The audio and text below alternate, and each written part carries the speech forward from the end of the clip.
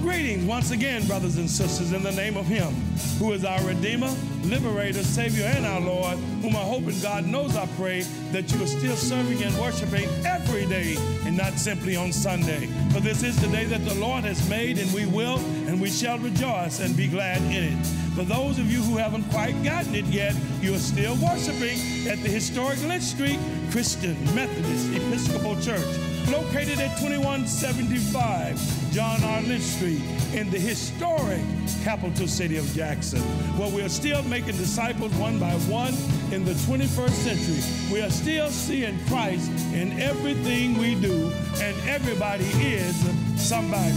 Thank you. We don't take it for granted. Thank you. I'm going to say it again. Thank you for joining us in our worship service today. We hope that it will be a blessing to you. So sit back and relax and join us today for worship. Be blessed.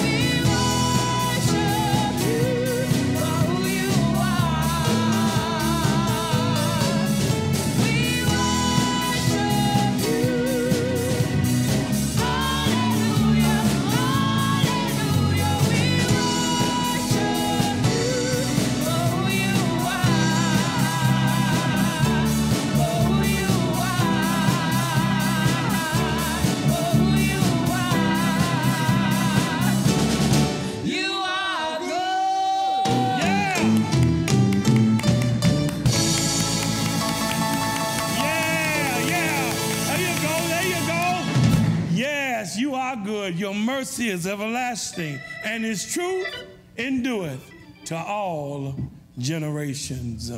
Let us unite in this historic confession of the Christian faith. In whom do we believe? I believe in God the Father Almighty, the maker of heaven and earth, and in Jesus Christ, the only Son of our Lord, who was conceived by the Holy Spirit, born of the Virgin Mary, suffered under Pontius Pilate, was crucified, dead, and buried. The third day he rose from the dead. He ascended into heaven and sitteth at the right hand of God the Father Almighty. From this he shall come to judge the quick and the dead. I believe in the Holy Spirit, the Holy Catholic Church, the communion of saints, the forgiveness of sins, the resurrection of the body, and life everlasting. Amen.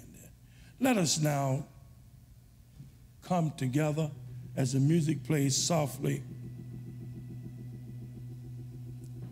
in prayer. Because prayer is the answer. I just said something very important. Prayer is the answer to all of our problems. Let us pray. What a friend we have in Jesus. All of our sins and griefs to bear. What a privilege. And y'all, it's a privilege. Why? Because God did not have to wake us up this morning. It is a privilege. What a privilege it is to carry everything to God in prayer. Oh, what peace we often forfeit. Oh, what unnecessary pains we bear. All because we do not carry everything to God in prayer. Lord, we praise you. We honor you. We bless you. Lord, we magnify your holy name. For it is you and you alone that's worthy to be praised. Now, Lord, we know that we're not what you would want us to be. Lord, I'm admitting, and I hope others are admitting that's listening to this prayer, that we are dirty, rotten, stinking sinners saved by grace through faith. But we thank you for grace. We thank you for mercy. And God knows we thank you for the forgiveness of sins. Lord, continue to bless the bereaved families. We don't know why we go through what we go through.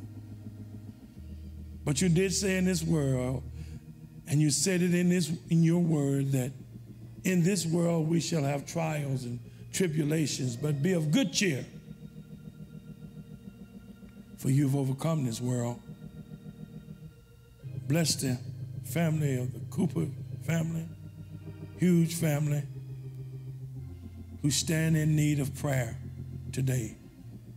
We thank you for the life of Brother Hughes and Cordell Hughes and for the life of Sister Edna Jolly Cooper. May they rest in peace. May they go to that area where you said that wicked shall cease from troubling and the weary shall be at rest.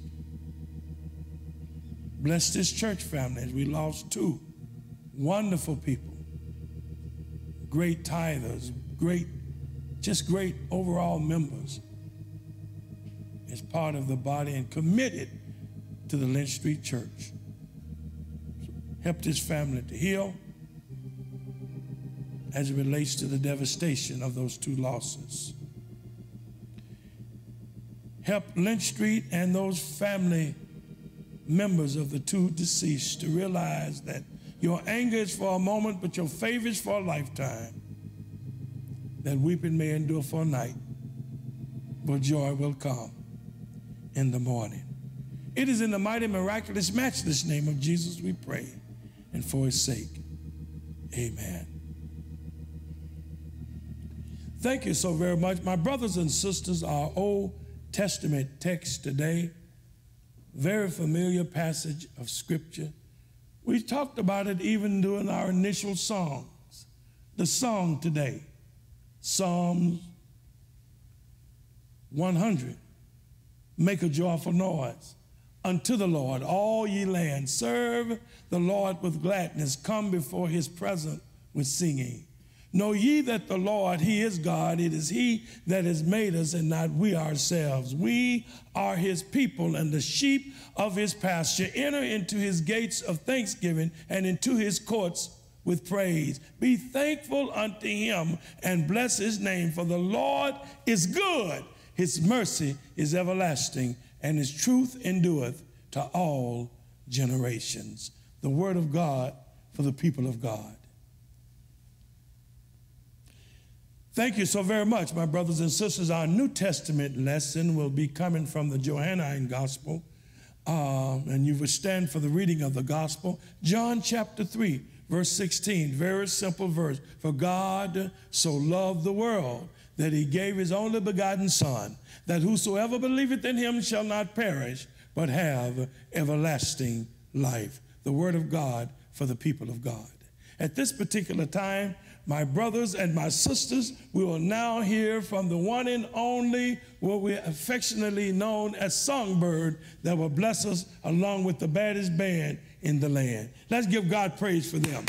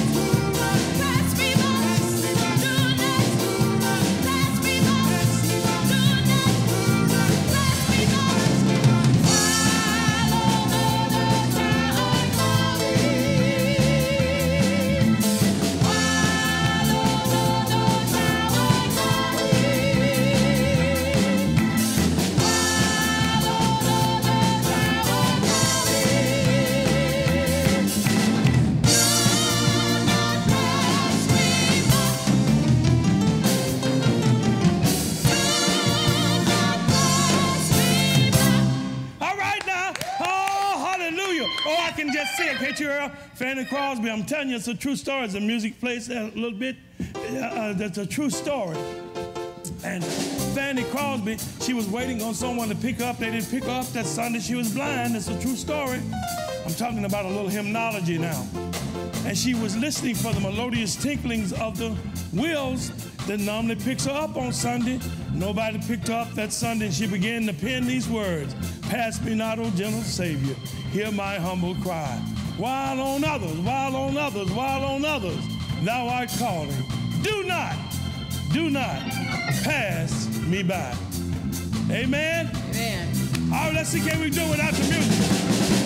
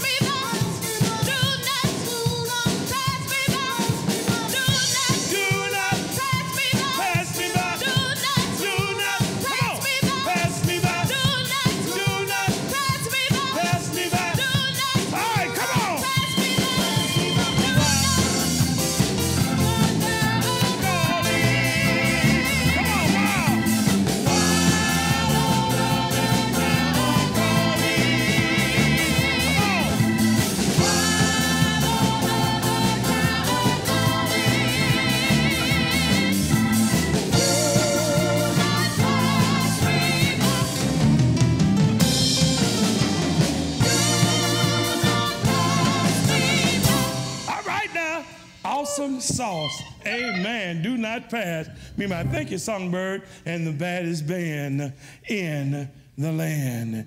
Thank you. I do greet you, brothers and sisters, in the name of Jesus, who is the Christ.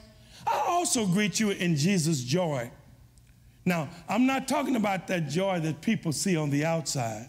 That's easy. Folk to think, Brother Hubbard, that you got it made and everything is going just peaches and cream. But people, a lot of times, that's a facade because those persons, some of them now, could be what you call toe up from the floor up. Can I get a witness on here? On the inside. But the joy that Jesus gives you, watch this now. I don't care how much a person talk about you. I don't care if they call you everything but a child of God. The joy that Jesus gives you is that joy that no human being have anything to do with. This joy that I have, the world didn't give it to me. The world didn't give it, and y'all, the world can't take it away. Let's give God praise for that kind of joy this morning. God bless you now. I, I want to say to you that today is a special day for some persons who deserve honor, and they call fathers. Can I get a witness in here? Happy Father's Day to all you fathers. Look here. Excuse this personal reference. Plenty fellows can make babies, very few fathers. This is your day, fathers, and we want to let you know, fathers, how much we appreciate each and every one of you. Thank you, fathers, for being leaders in your own way. Thank you, Father, for being head of your household. Thank you, Father, for inculcating moral and spiritual values into individuals that sometimes seems powerless to be born. Again, would you all join me with a big, big, I mean, huge, just like we did at Mother's Day, huge hand clap for all of the fathers out there. Happy Father's Day. Come on, y'all can do better than that. Happy Father's Day. I want to say that we're continually uh, in prayer uh, for the family of the uh, Cooper family, Brother Byron Cooper, the husband of Mrs. Cooper, and the Cooper family. As you know, this past uh, Saturday or yesterday, uh, Sister Cooper was, uh, was funeralized um, and had a graveside service in the Natchez Trace Cemetery. And we were so glad to have uh, Bishop Carter with us uh, at that time, who happened to be very close to Mrs. Cooper, and um, uh, he was there to give some words of comfort. And, and I was so glad that you all thought it not robbery. Uh, members of the steward board, God had been uh, saying to me, uh, jerking my chain, if you will, as to what we can do with a person that has given her life to the Christian Methodist Episcopal Church. And I'm so glad uh, uh, uh, that the Lord had us coming together with like minds. And uh, I'm so glad that we uh, established this scholarship uh, in the person of Edna J. Cooper Scholarship here at the Lynch Street Christian Methodist Episcopal Church, sponsored uh, by the steward board here because she was a wonderful steward here at this church. So I want to say kudos to you stewards for doing that as they've already opened the scholarship up with $250 already. So thank you all stewards for doing that. And that's what we should always do, always do things like that because as you know, it's an African proverb that the more you talk about persons, the more they stay alive. I just said something, Brother Clinton, very important. Once you continue to speak their names, they are always alive. That's an African proverb. So kudos to the steward board of this church for establishing uh, the Edna J. Cooper Scholarship here at Lynch Street Church. Let's give God praise uh, for that. This coming Thursday uh, at our church, this coming Thursday will be the first time that we would have had uh, activity in the church. It was in the will of Brother Cordell Hughes that he would have his service at the Lynch Street Church. So we will be having roughly about 100 people that will be uh, coming here inside the church. I will be meeting next week between Monday and Wednesday uh, with the members of the trustee board and members of the usher board so that we can begin to deal with the social distancing. As you can see, we've already started some process right now. We're going to be dealing with that, uh, how people sign in, and we're going to be doing the same thing as it relates to service at church. And that's a segue as it relates to our service. We will begin our uh, service inside the church for those who are comfortable with it, beginning the second Sunday in July at 11 a.m. Service from this point on will be one hour only, and we will meet for an hour. Uh, people have to start getting have to start getting comfortable coming back. We will not have choirs at the moment. Choirs meaning up here because there are some choir members that have already shared with me that they're not comfortable opening their mouth and things of that nature yet uh, as relates to sitting close together. But what we will do is we will have uh, songs that will be hymns, and we can also have persons who would like to come to the mic if they want to lead a song, and if you had, particularly if that song has been rehearsed, uh, that person just simply come to the mic and sing that song for us. Each and every time, my brothers and sisters, that someone come to the mic etc., it will be wiped off each and every time before someone uses it. So we're still practicing social distancing. We're not over the hill yet, so we need to be very cautious. Again, we will begin service the second Sunday in July at 11 o'clock to 12 o'clock. We have a one hour service, and each Sunday it will be for an hour. One thing this pandemic has taught all of us and that is to cut through. It has shown us how to cut through the fat and go straight to the meat. Does that make sense? Amen. It has cut out the fat and helped us to go to the meat of what a service need to be about. Now, last but not least on that, our services will be what we call hybrid worship services. Hybrid, meaning that there are some people who want to show up here and others who will see this service via our Facebook Live, which we will be giving you the link for that through our Facebook page.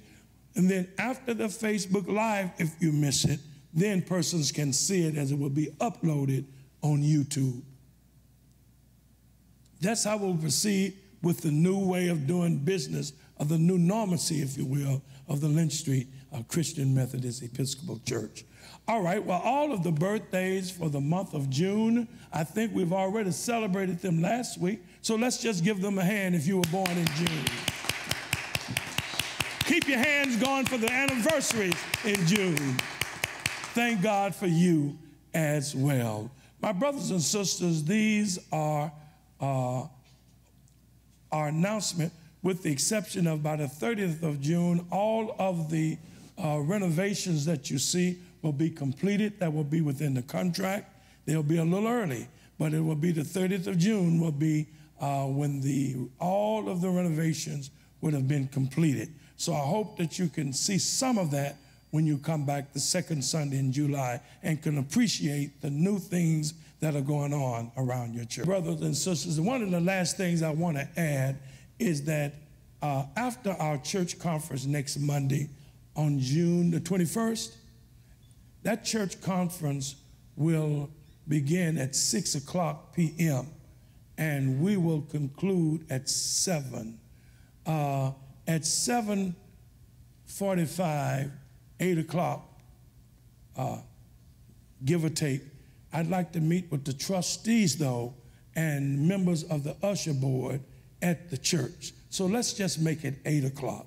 8 o'clock, let's all meet trust, uh, trustees and members of the usher board so that we can prepare ourselves for the funeral coming up this coming Thursday here at the church. Thank you so very, very much. And now we'll have a selection from our songbird, and then afterwards I'll come with the word that God has given me for you today. We will have the invitation to Christian discipleship, and then I will give the doxology and the benediction.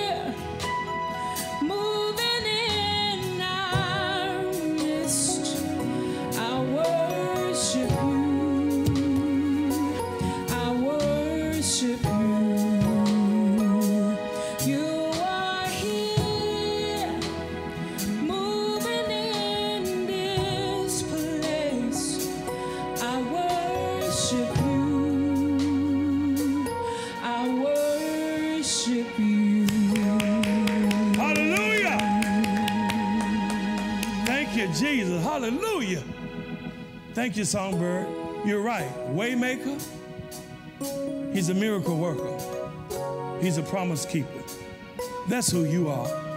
How many of you all know him to be a waymaker? Mm-hmm. How many of you all know? Oh no, come on now, really. Come on now. Sometime when your back is against the wall and you don't have any money or nowhere to get it, are you in a lonely spot that no human being was around to get you out of?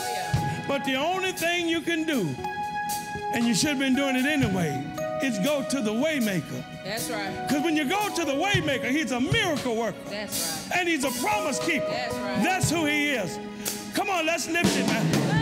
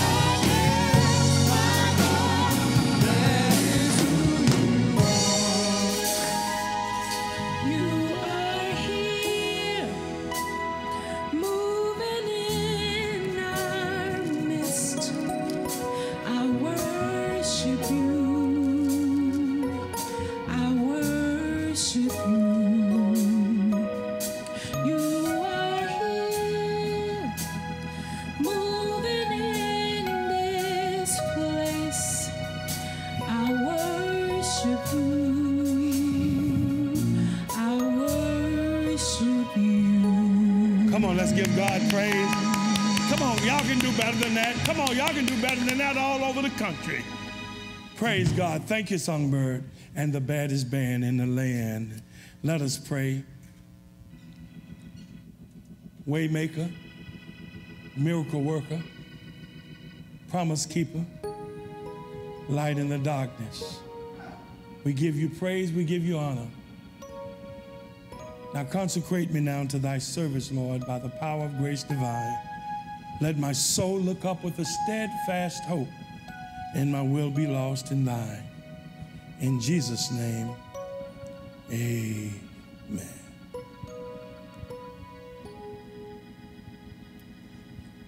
My brothers and my sisters, for a little while, the Lord has been jerking my spiritual chain uh, as it relates to something, yes, here at Lynch Street Church, but just as it relates, Lynch Street in particular, but uh, people in Christendom in particular.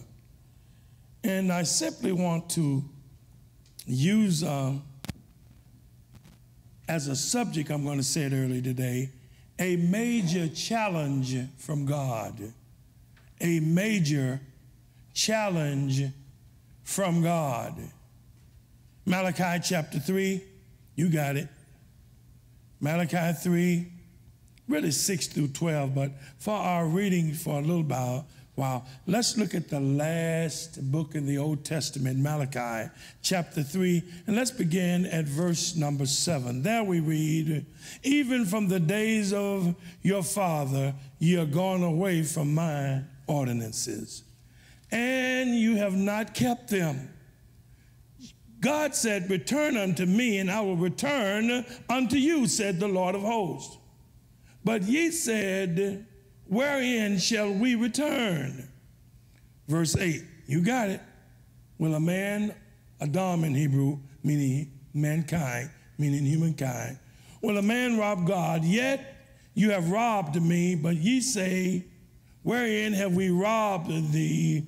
And God says, In tithe and offerings. Verse 9 says, You are cursed with the curse, for you have robbed me, even this whole nation. Verse 10 is the most famous verse.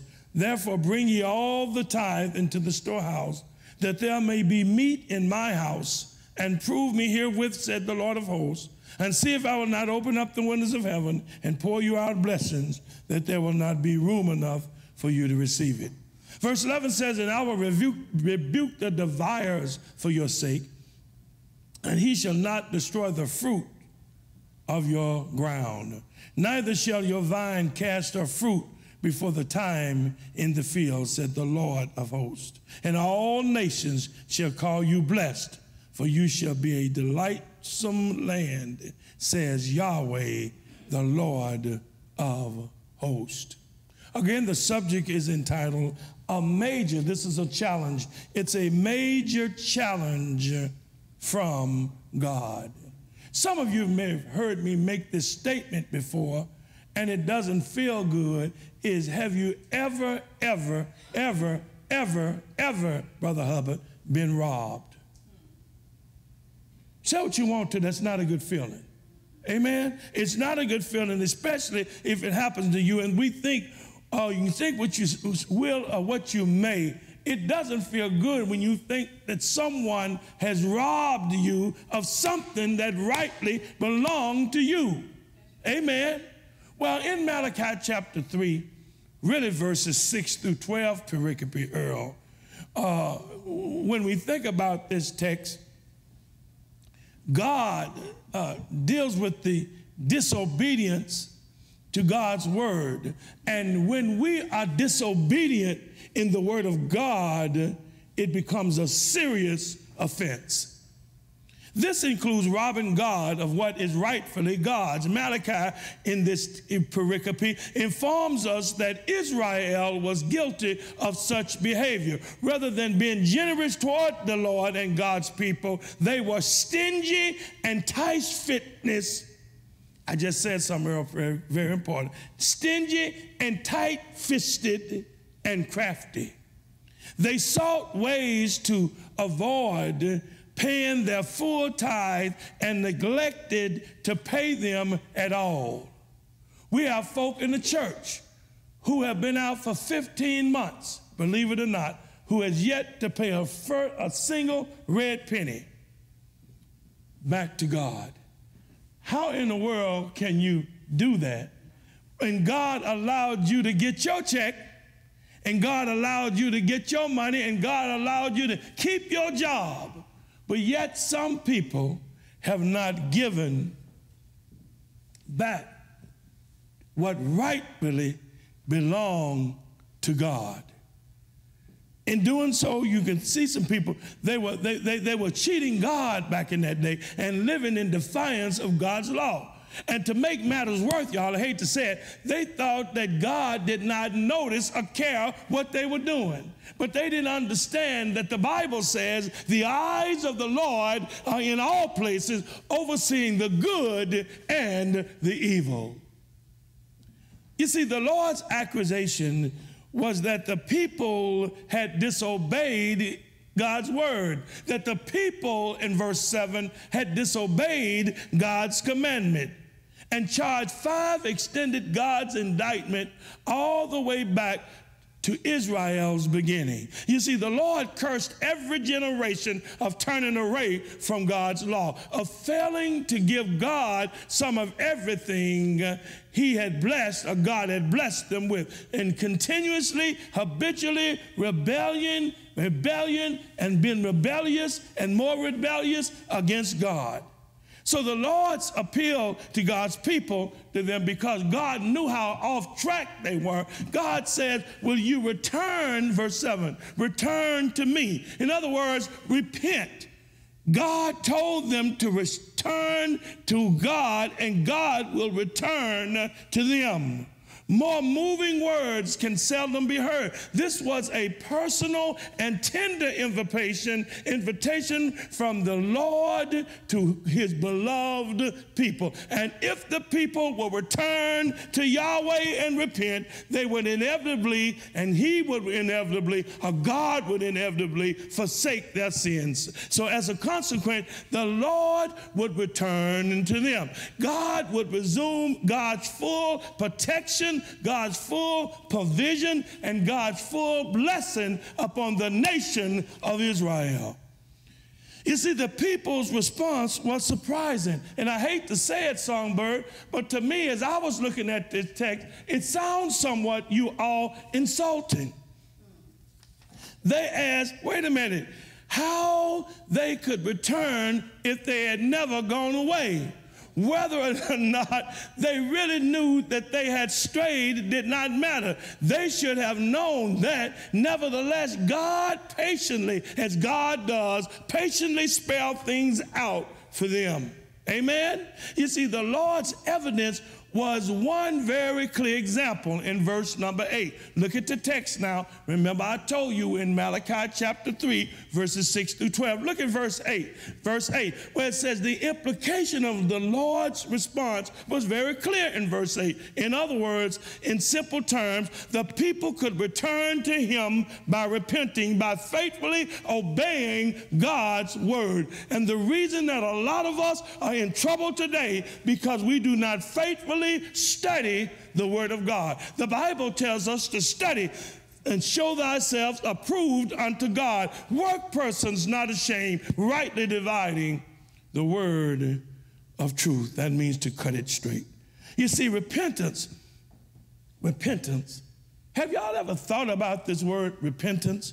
Repentance, it meant, it meant hearing all of God's commands and heeding his commands and heeding his instructions. In other words, doing what God asked you to do. And as an example, God pointed to one specific and very serious sin of which they needed to repent. I hate to say it, y'all, you got it. The people were robbing God of tithes and offerings. And so it is today that some people who gets that check and God has allowed them to keep their job, they are robbing God by not giving God a tenth of their tithe and offering. They wanted to know how in the world are we doing this? They should already know that they're keeping the money in their pocket.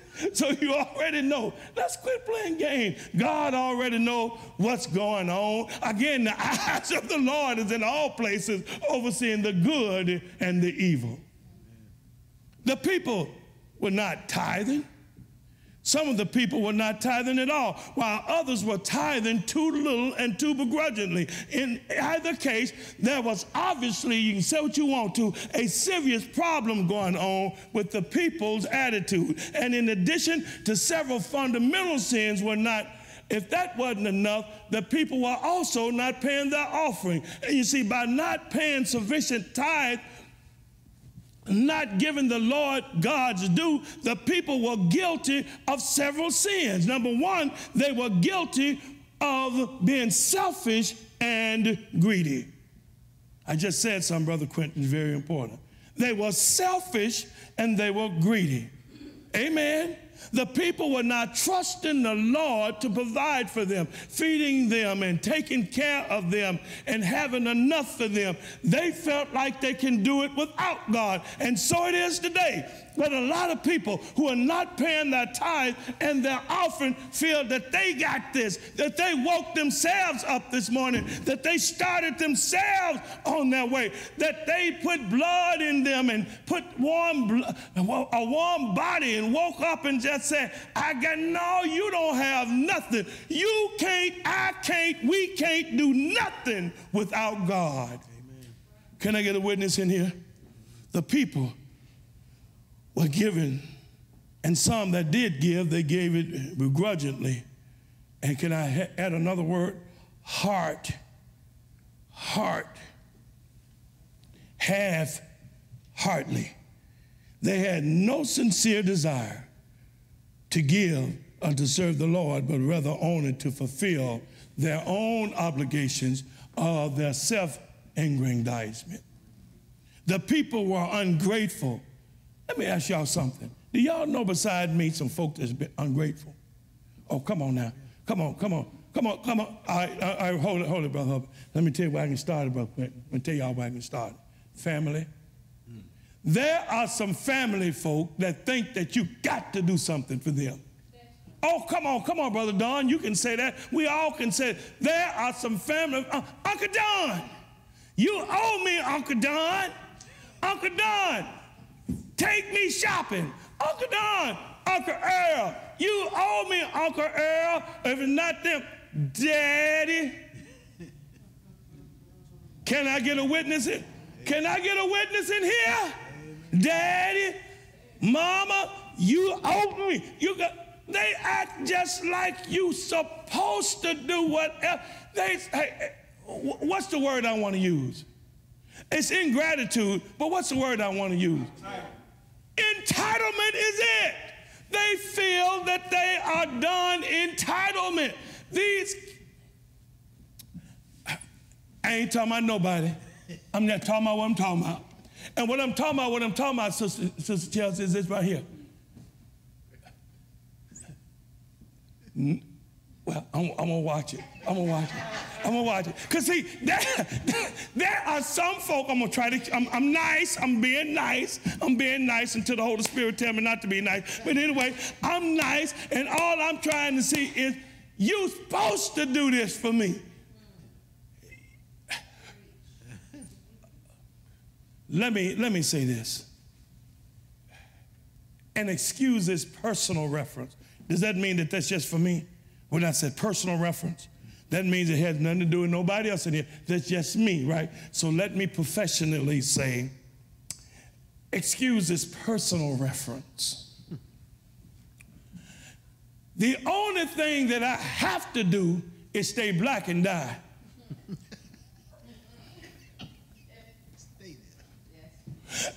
Ain't no need of me trying to bleach my skin like I said, like some folks trying to. Well, only thing that I have to do is stay black and die. Now I got to die and I got to stay black based on this DNA. Now that's the only thing that I have. Now wait a minute. I may have to face the consequences, but the only thing that I have to do is stay black and die. Look here. Folk don't owe you nothing. Folk ain't got to do, and I didn't say do not have to. Folk ain't got to do nothing for you. Who do you, Wayne, who do you, anybody who's listening in here, think you are? We are all sinners saved by grace. Folk don't have to do nothing for you. Therefore, you need to be grateful what people do for you. Be grateful that God woke you up. Be grateful that you were able to put your feet on the floor. Be grateful that you were able to walk to the bathroom. That's the first thing you can do when you wake up, you know. Be grateful that you go to the restroom and be able to use one or two. Be grateful. We take too many things for granted. Can I get a witness in here? Come on, I know it's more folk in here than I said, can I get a witness? We take too many things uh, for granted. Amen. Here's my philosophical statement. The, not one of the, the most cardinal sin, that's a definite article, by the way.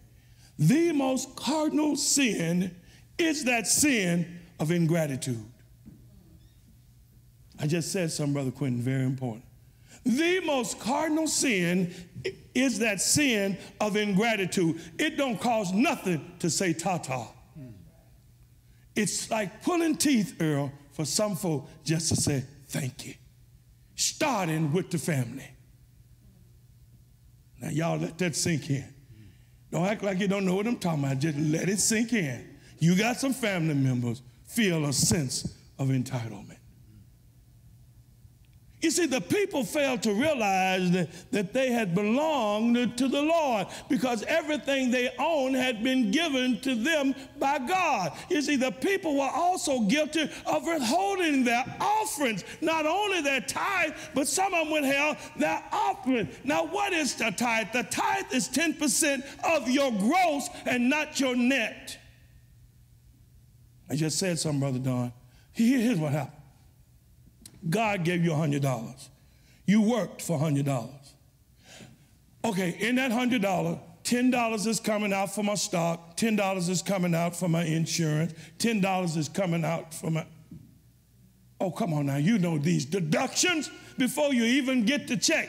God had nothing to do with these deductions. You did these deductions, or humankind did the deductions. God gave you a $100, and before you pay anything else, you need to give God $10 of that $100. Then you pay your bill, not on your net. Who do you think you're fooling? You're not fooling God tithing on your net. Well, I ain't got but 50 left because the rest of it is in deduction. God gave you a hundred bucks, and you're supposed to tithe off that $10. Now, let me go a little bit further. There's a thing called offering.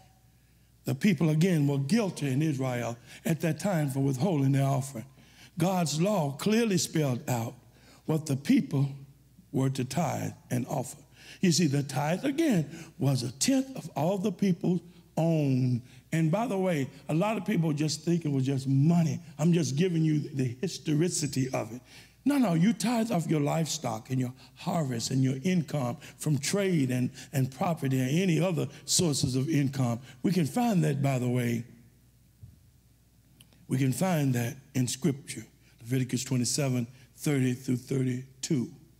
You see, the purpose of the tithe was to support the priest and the Levite, God's servant, so that the work of the temple could not be, I mean, could be performed. In other words, tithe and offering supported the work of the temple, supported the work of the church. You see, the priests were dependent on the tithe for their livestock, the poor and the disadvantaged were dependent upon these benevolent offerings that the, that the people give on Sunday morning. They were dependent on that. These widows, the offering, the foreigners, and others who are in need to benefit from the tithe of the people who are literally in the church. We will find that in Deuteronomy chapter 14, verses 27 through 29. You see, without sufficient tithe and offering, the nation's whole religious system could suffer, and in turn, so would society in large. So the reality is, when I don't give a sizable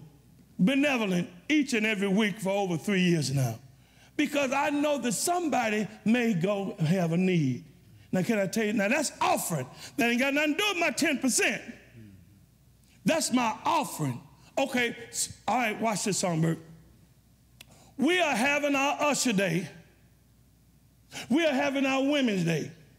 And each woman is to pay, uh, each member is to pay $100. That's offering, that's not tithe. That's considered offering. That is in addition to what you're supposed to give God when you get that check every week, or every other week, or every month. Those funds are offering, remember now, is addition to. Now, I'm preaching this for a reason to help some people if they listen at this message on YouTube. Because you are punished. I hate to say it, you are cursed with a curse if you don't pay the 10% of your gross income and some offering. Then we wonder, Earl, why some of us never ever turn the corner. Can I tell y'all something? If God does not get it one way, God will get it another. Y'all missed that. Okay, I tell you what you do then. Everybody that's my age and above, or even below, keep on living. If you haven't experienced it, you'll get there. I used to play game with tithe and offer two years ago, but I finally got myself together. God always takes care of God's own. Okay, people who play in game, let me see who, example of them, John. Godly, we just got out of the debt we thought. Your refrigerator going out now. Can I get a witness? God gonna get it. God's gonna get it one way or other. Not only, watch this, hub, not only, Clint, watch, not only did the refrigerator go out, guess what else had gone out? At the same time, the deep freezer. Hmm. So the refrigerator, the deep freezer, and when I got ready to crank the car, now the engine gone. Hey, what, watch this. And I don't have that CarMax or whatever that car thing. I, I, hope y'all hearing what I'm saying. According to the word, I'm serious. Notice verse 9. You see, the people's punishment for robbing, robbing God was a curse. You see, the Bible says you are cursed with a curse. In fact, God said they were already under a curse. They were already suffering famine, loss of harvest, and in, uh, investment income because they were cursed with a curse. There's a lady by the name who just died, as you all know. Oh God, she used to say so many things to me in private. She's going to be with the Lord now. But Sister Edna Cooper, bless her soul, she's going to be with the Lord, to be absent from the body, present with the Lord. She used to say to me, not only since I've been here, but prior to when she was in the steward board room, Brother Earl. I don't want nobody counting my money who, who, who, not paying any themselves. I don't want nobody in the steward board room touching my money and they don't tithe. She's right. She's right.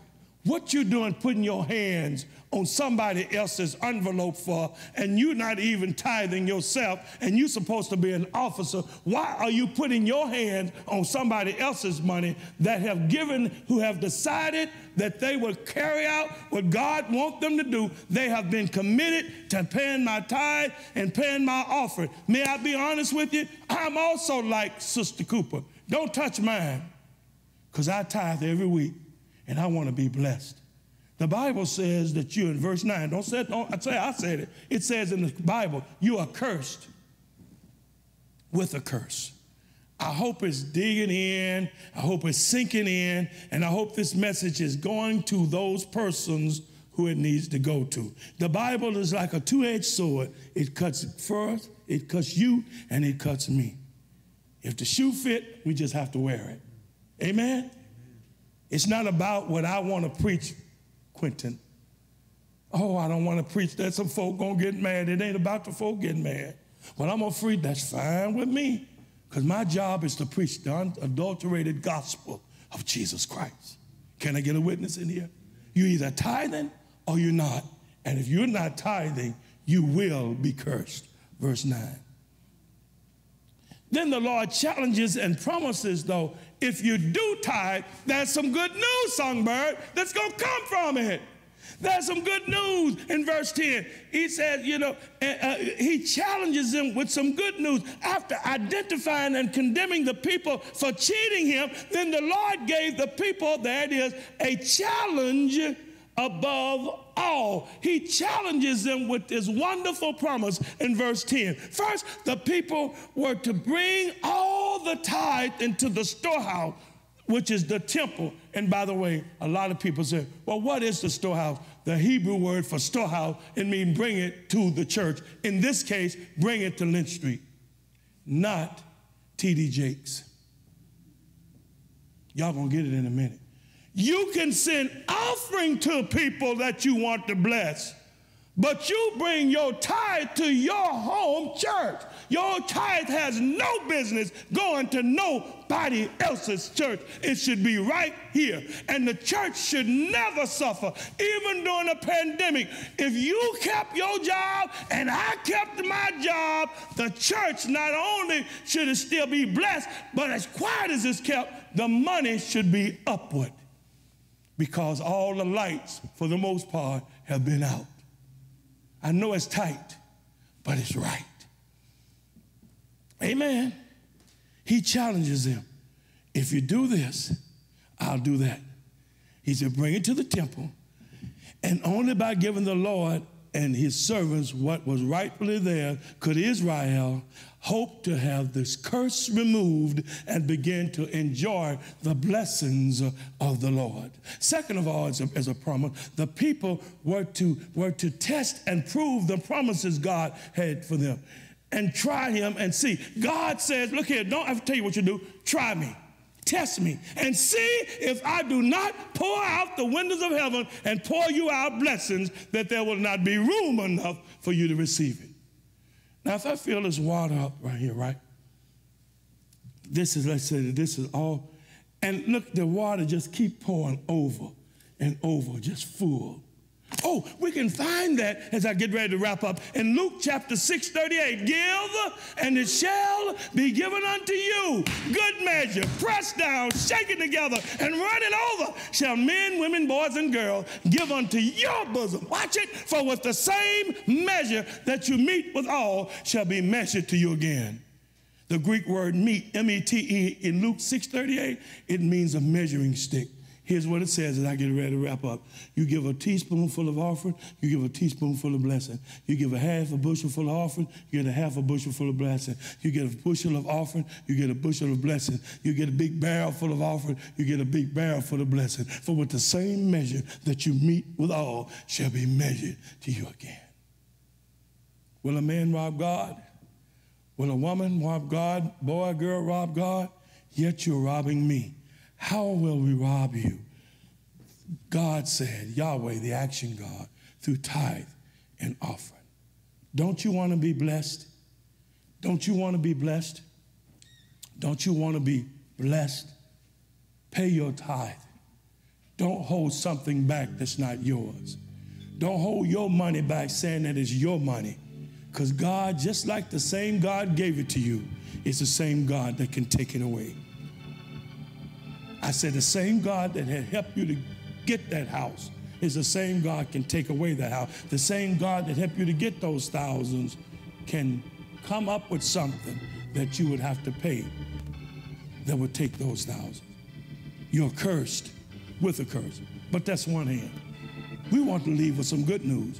But if you do pay your tithe, 10%, and your offering. The Lord says, Prove me herewith, said the Lord of hosts, and hallelujah, see if I will not open up the windows of heaven and pour you out a blessing that you won't have room, that you won't have room enough to receive it. A major challenge from God.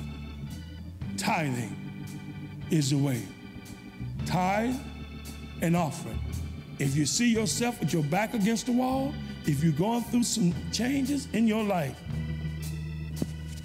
tithing is the way to go. Tithing is the answer. If you do it, God will bless you. On the other hand, if you don't do it, God will curse you. Which do you want? Do you want to be blessed or do you want to be cursed? I didn't say that, so people won't get mad at me. Read Malachi 3 and look at verses 6 through 12, and you will discover everything that I just said. Well, Reverend, I'm going to be honest with you. I don't have a clue what you're talking about. Why? Because I don't know the Lord. I don't know this God that will sit up there and, and pour out the windows of heaven and, and out the uh, blessings that I will not have room enough to receive it. I don't know anything about that. But I offer you Jesus today. He will bless you. If you don't know him and the pardon of your sins, all you need to do is believe in your heart that Jesus Christ is the Son of God and that he was raised on the third day. Then the Bible says, You shall be saved. What a challenge from God. I hope this penetrate your spirit. Whoever you are, that you will come to Jesus. And when you come to Jesus, you'll come to Jesus understanding that Jesus is trustworthy, that God is trustworthy. You can trust God. You can trust Jesus with everything. You may not can trust human beings because man will deceive you, but God is a God of trust. He said, and God said it in God's word, trust in the Lord. Proverbs 3, 5, and 6. With all of your heart and lean not to your own understanding, but in all your ways acknowledge him. And I declare you direct your path. Look at the, look at the screen. Look at the screen. Look at the screen. We'll pray for you. We'll pray for you. If you don't know Jesus, just say, Lord, I'm a sinner and I want to be saved. You don't have to pray a long prayer. Remember, God knows it all. God sees it all. The eyes of the Lord is in all places, overseeing the good and the evil. Will you come? Oh, how I love Jesus.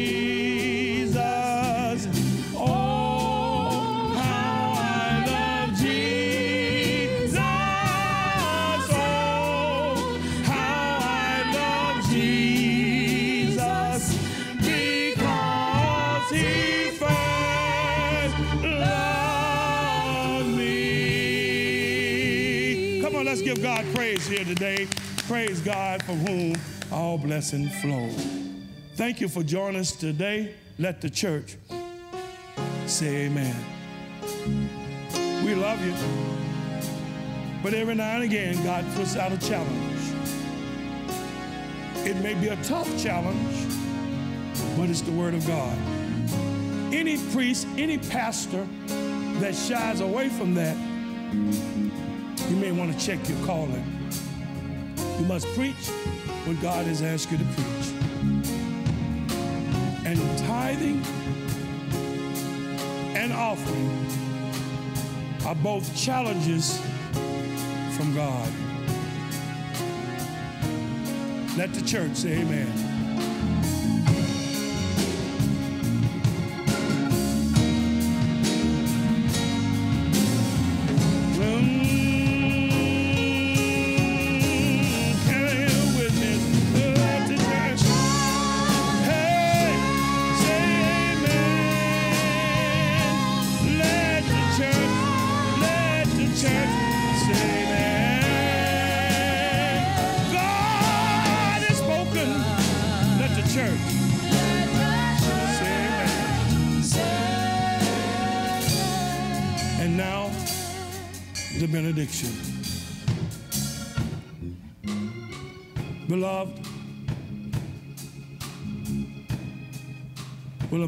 God?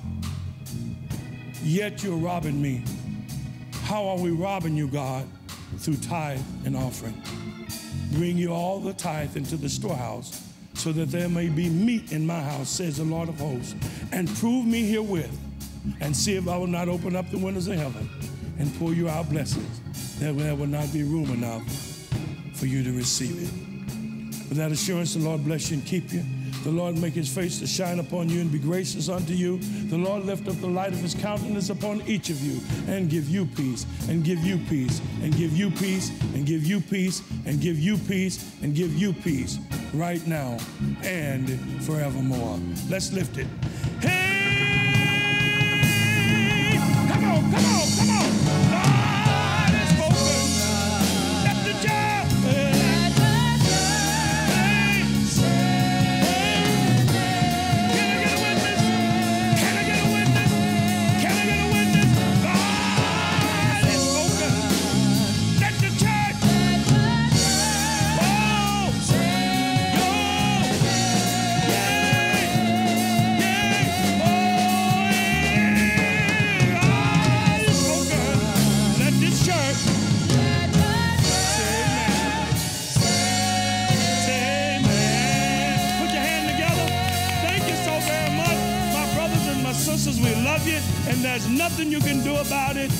Remember that God is in in control of everything in your life.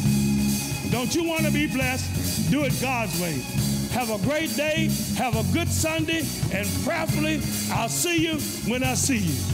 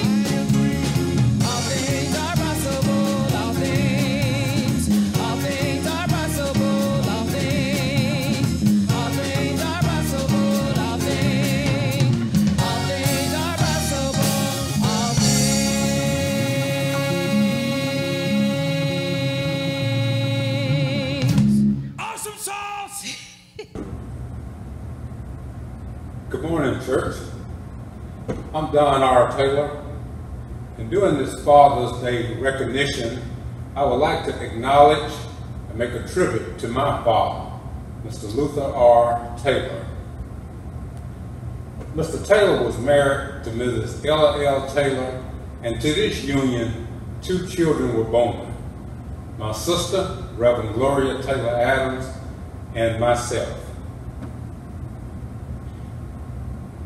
My father transitioned, passed away in April 1990, but it's not a single day that doesn't pass that I don't think about it. My father was a Christian man. He was a faithful member of this church, Lynch Street CME Church, where he was chairman of the steward board. When I think about my father, there are several of many characteristics or traits that make a good father. But for time's sake, I'd like to discuss nine traits. First of all, he was a protector. And I can remember years ago, under his tutelage and under his guidance, we used to walk out in the pastures and the fields when we were out working. And he taught me very early in life to watch where you step. Watch for things that you might step on, snakes. And you know, for years I thought about that and always watched my step. My father was affectionate. A lot of times he was a disciplinarian, but we always walked away and he put his arms around my shoulder and told me that he loved me. And I knew that he was an affectionate man and he cared about me. Number three, he always demonstrated trust and security. I felt secure. A lot of times I found myself in different predicaments in life, but when he was there, things, I felt as though things would work out, and I trusted him. Number four, my father was a source of encouragement. He encouraged me to do my best, strive for your best. And he led the way, and he was always an example for me to follow. My father was patient and he listened. And we could discuss life trials and life successes, but he always found time to listen to his family and to listen to me. Number six, my father provided the necessities for his family. He was, as I mentioned earlier, he would a provider, but he always looked for what was necessary for me and what was necessary for his family. And he was there to provide and show us how to provide for yourself now and for yourself and your family in the future.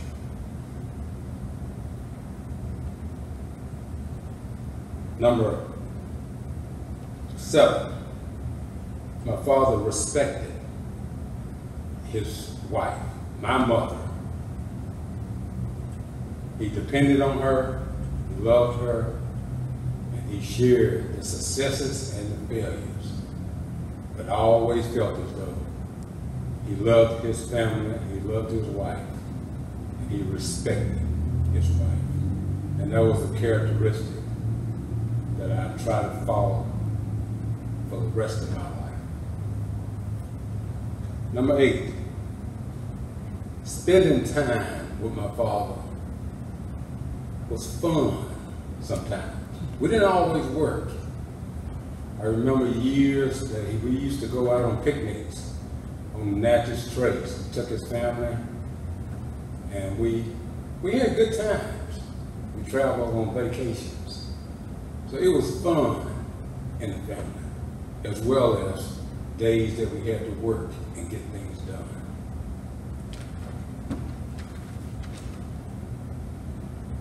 Number nine, he was a teacher. He taught me how to take care of myself and how to get the things done and how to be a success. And I will always remember that about him. In conclusion, my father, Luther R. Taylor, was a mentor and a role model for me and for his family. And I will always remember, cherish, and love him for it. Thank you. Happy Father's Day, Daddy. We hope you enjoy your day. We love you. Happy Father's Day, Granddaddy. Hope you enjoy your beautiful day and have the rest of your day. Goodbye. Happy Father's Day. Hey, Daddy. Happy Father's Day. I just want to take this moment to tell you thank you. Thank you for always being there for me. Thank you for loving me. Thank you for supporting me. Thank you for encouraging me. I'm so blessed to have you in my life, and I'm thankful um, that God allowed you to be my dad. I'm so excited about what He's going to do in the next phase of your life. So I hope you have an amazing day today. I love you so very much. Your daughter, your darling, darling Courtney. This Father's Day tribute is for the man whose love guided me into the woman I am today. A love that is unconditional, caring, and runs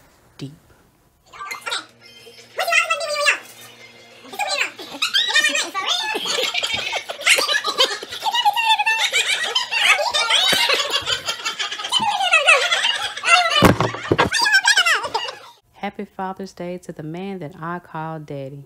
I love you, Daddy. For the friend that you are, an anchor that we can rely on, a teacher that we learn from, a hero that we look up to, a constant source of encouragement, and a role model to be proud of. As we celebrate you with this Father's Day tribute, we thank you so much for being the God and light in our lives. We love you and happy Father's Day, Dad. Hey, Dad, I just wanted to wish you happy Father's Day. From where? From work, of course. Enjoy your day. Enjoy just being a great dad. Mom, do a little something special for Dad today. Love you. Bye.